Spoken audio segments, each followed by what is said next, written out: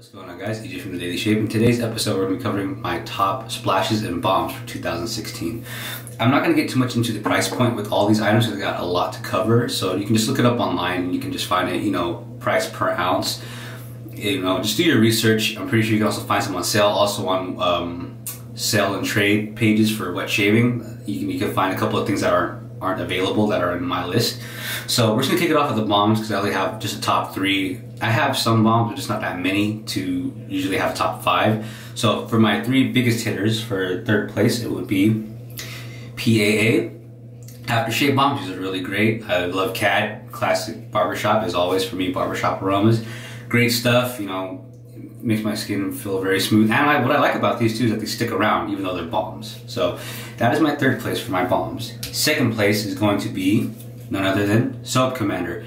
Honor, another barbershop I love their aftershave balms because all, all, of them have menthol. So you get a nice cooling effect and your skin feels nice and hydrated after you're done using these. So, and these don't stick around as much as the PAA, but I still love Soap Commander no matter what. And then just for my number one is Proraso Anti-Irritation.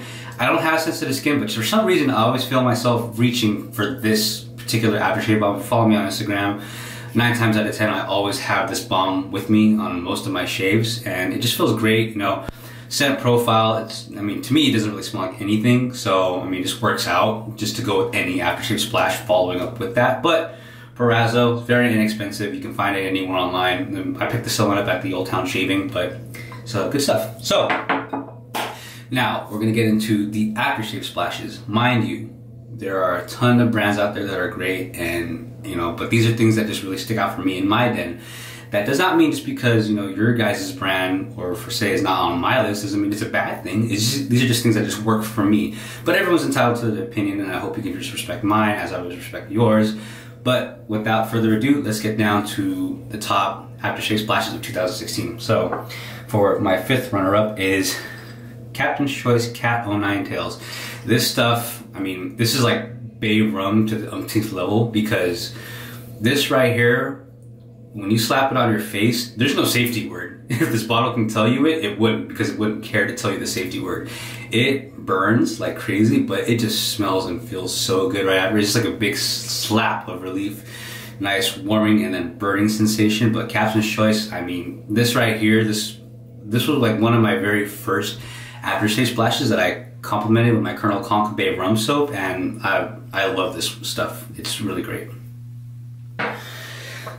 Fourth place is Catie's Bubbles. This is the post-shave toner. Actually, no, tonic, sorry.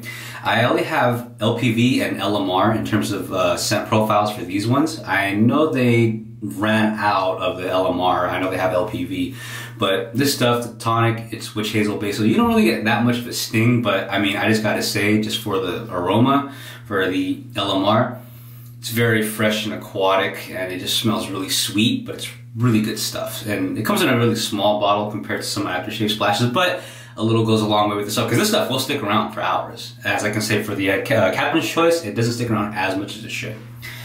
Now, for third place is Bear Man, uh, Man Reserve Classic.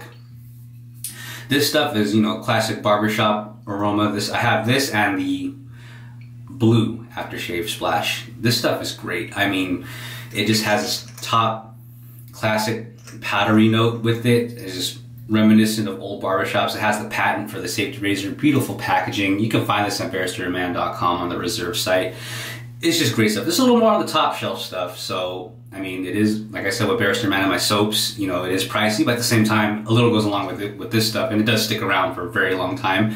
And just overall, um, even though this was, you know, new to the scene for last year, I just, this stuff is really great. I personally, my top one has been the blue aroma, but I always find myself too reaching for the classic just to go with like a nice, you know, just classic scent all around. And I have for second place, I have two brands, but of the same person, PAA and Crown King.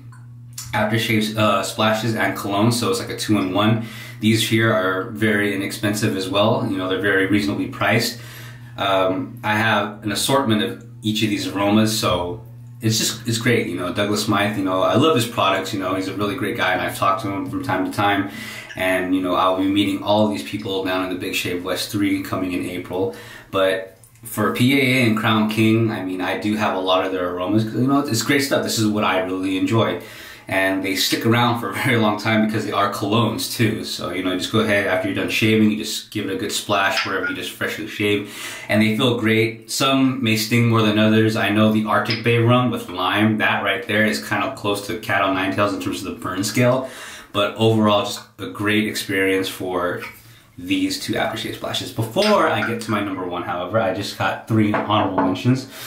So for my honorable mention number three is going to be Havana from Barbary Coast. This is brand new. I didn't get that, get this, sorry, not too long ago in terms of last year, but I love the way this felt. This, the aroma, it's tobacco, but it was very subtle with cocoa. And when you splash it on, it did not burn whatsoever. I mean, not saying that burn is a bad thing, but overall, I was very impressed with this aftershave splash. It's a little pricey as well for four ounces, but at the same time, I just really wanted to take the dive and trying out this this line of, of Barbary Coast. I need to try out the Bay Rum. That's the next thing I want to get. But other than that, though, it is an honorable mention in my den. So Havana, this is the one that I have so far. For my second runner-up is the Holy Black Shave Tonic. This right here is the Galleon aroma, very fresh. Smells like, you know, kind of like the ocean, like a little powdery note. Great stuff. It, for a tonic, it does have a good kick to it. It stings a little bit, but not too much. It sticks around for a while, but at the same time, this just got a little overshadowed with other stuff in my den. But other than that though, Holy Black is making a name for itself in terms of the wet shaving community. I know they just released a uh, Chevette razor that's very similar to the Crown Kings. So they're getting there, and I know they're going to release a lavender soap as well. I believe it's called Lavender Smoke. So you know, look out for that if you guys are interested for um, Holy Black soaps. And my first honorable mention is Small Batch Shave Tonic Winter Reserve. This one is from the Derby City Chop Shop. Great packaging. I love the way it looks. It just, it looks fabulous. It looks amazing. You know, it looks kind of like the Maker's Mark bottle, and they actually use real bourbon with their aftershave splashes. And the aroma for Bay Rum, it's just very unique. It's, it's, how can I explain? It's like cool and icy, but it has a nice spicy kick to it. Um, they only release these once out of the year, around November, but sometimes if you're lucky, they also make a second batch. I happen to get batch number 58 out of the 78 that they made. The only downside I just had with this is that it just does not stick around for a while. That's the only bane that this thing had. As much as beautiful as it looks and as great as it smells, the the biggest Achilles heel for this aftershave splash tonic, sorry, is that it does not last long. But at the same time, I just the bottle it just it looks amazing. Just look at that. Look at just the detail that they make you know? It has like that little wax you know feel. Like I said the maker's mark and it has like a little DE blade insignia right here. So that is my number one honorable mention. Now for my top aftershave splash 2016 is none other than fine American blend. This stuff is just amazing. I know they don't have this packaging anymore due to a patent issue, so just the newer one just has American blend with just like a red stripe around the ring right here. But this stuff, I mean, as you can see, I've been using it a lot. Even when I don't shave, if I'm done after the shower, sometimes I just use it as an after bath, and it, it just smells amazing. It's just, man, I mean, this stuff you can't go wrong. I mean, if I can recommend a fine aftershave splash, it'd be Amer it'd be American blend. I do have the Italian citrus and I do have the fresh vetiver, but I mean, American blend. No, no questions at all. American blend. You have to get American blend. This stuff is great. I also have the matching soap to go with it too, but this is the one that I reached for throughout the entire year of 2016. This stuff is just amazing. I also bought some for my father-in-law too and he loves it. So, Mr. Fine, American Blend. No questions.